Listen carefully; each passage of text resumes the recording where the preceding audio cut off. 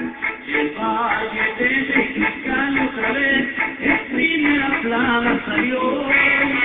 La nota se difundió por doquier, se vio hasta en televisión. Hubo frecuente que se plano de su mujer, la mataron de un disparo, ni la pudo defender. El hombre del